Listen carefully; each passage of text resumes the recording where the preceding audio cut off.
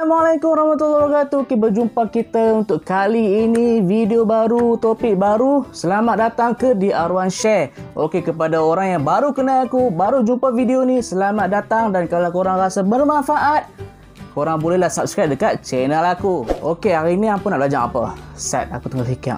Hmm. Baru-baru tu ada orang tanya aku pasal G6 Speedy.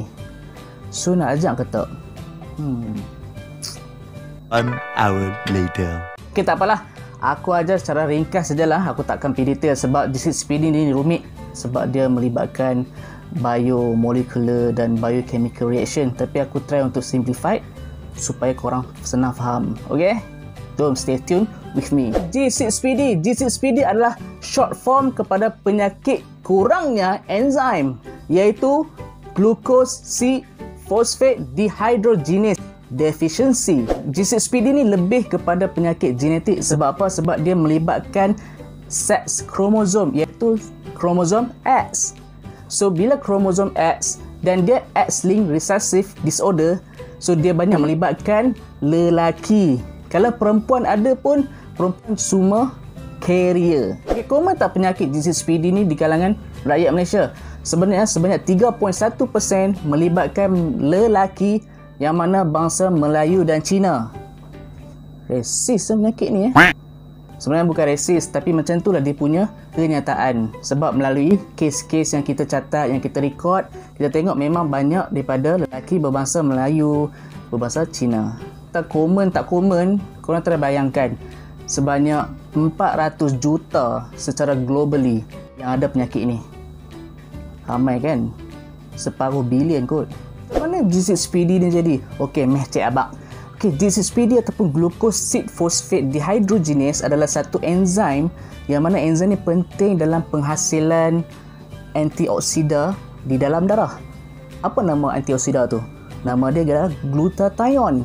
So, glutathione akan kurang kalau enzim ni kurang. So, bila enzim ni kurang, glutathione pun kurang, apa akan jadi? Free radical akan naik jahanam tu kita punya red blood cell. Ha, sebab itulah kalau orang ada disease PD kemungkinan besar dia akan ada anemia simptom-simptom anemia. Macam pale iaitu pucat letih kadang-kadang sesak nafas lepas tu kadang-kadang rasa nak pitam dan lepas tu apa lagi? Rasa macam lemah sangat-sangat dan lepas tu kadang-kadang rasa macam kita berdebar, jantung laju. Tapi orang yang ada G6PD ni dia boleh jadi macam normal. Maksudnya dia tak tunjuk apa-apa simptom sekalipun. Dia macam orang biasa, macam kita. As long as dia jauh daripada trigger factor. Apa contoh dia? Contoh kalau dia macam terekspos kepada ubat anti malaria. Contoh ubat anti malaria macam Primaquine ataupun Tafenoquine ataupun ubat cair darah contoh aspirin ataupun ubat antibiotik untuk jangkitan kencing. Contoh macam sulfonamide. Okey, ubat-ubat yang aku cakap ni kalau orang yang ada disease PD ni macam makan so segala simptom dia akan tunjuk. Semua simptom anemia dia akan tunjuk. Apa lagi trigger factor yang ada? Okey, selain ubat, trigger factor macam exposed to chemical. Apa contoh chemical? Contoh macam ubat gegat. Ha, ubat gegat yang bobo dekat lokal tu nak bagi wangi tak mau buah apa Nephthalene. Ha, kalau Nephthalene ni terdedah dekat orang-orang yang disease PD macam ni so segala simptom pun dia akan naik. Maksudnya benda ni akan trigger dia punya oxidative stress. So bila oxidative stress tu wujud dia akan merosakkan dia punya red blood cell. Maksudnya dia punya sel darah merah akan pecah. Bila pecah kurang red blood cell dia dalam darah. Bila kurangnya red blood cell, so anemia. Dalam medical term kita panggil sebagai hemolytic anemia. Hemolytic maksudnya pecah anemia. So red blood cell tu pecah. Bom. Okey, selain tu trigger factor apa lagi? Pemakanan. Contoh makanan apa? Kacang. Kacang parang ataupun fava bean ataupun broad bean. Sama aja kacang parang. So kacang parang ni orang-orang macam ni ataupun jenis speed ni tak boleh makan. Kalau korang makan lah, korang tanggung lah. So benda-benda yang aku cakap ni kalau boleh elakkan. Kalau boleh elak insya-Allah korang boleh jadi macam orang normal. Tak ada tak ada simptom.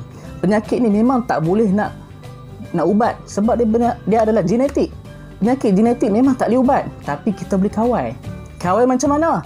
Jauhi trigger factors. Kalau kita ada penyakit, kita rawat penyakit itu.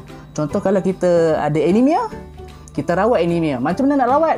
Kalau anemia terlalu teruk, darah terlalu kurang, kita buatlah blood transfusion.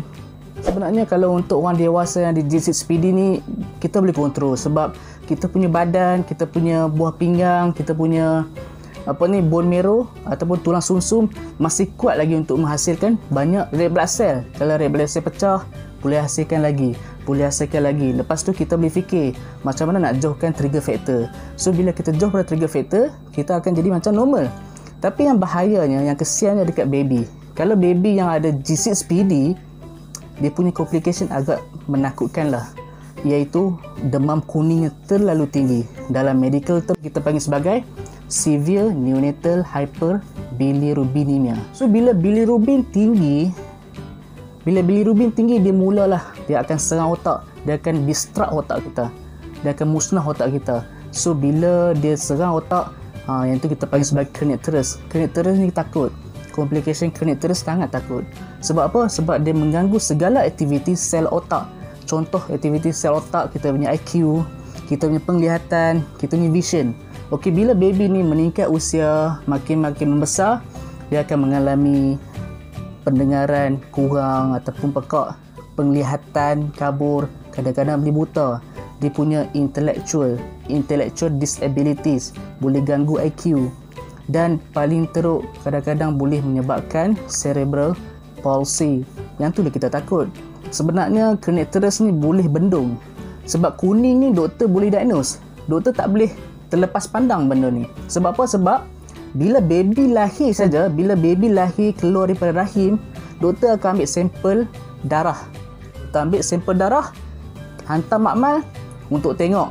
Baby ni ada disease PD ataupun belum. Sebab penyakit ni untuk baby sangat bahaya. Setakat situ sajalah aku punya perkongsian. Aku harap ringkas korang faham lah apa itu G6PD penyakit G6PD senang faham kan? Setakat situ sajalah aku punya perkongsian untuk kali ini dan korang tunggulah untuk next video insyaAllah. So terima kasih kerana korang support aku sampai sekarang. Okay, terima kasih. Kita jumpa lagi. Assalamualaikum warahmatullahi wabarakatuh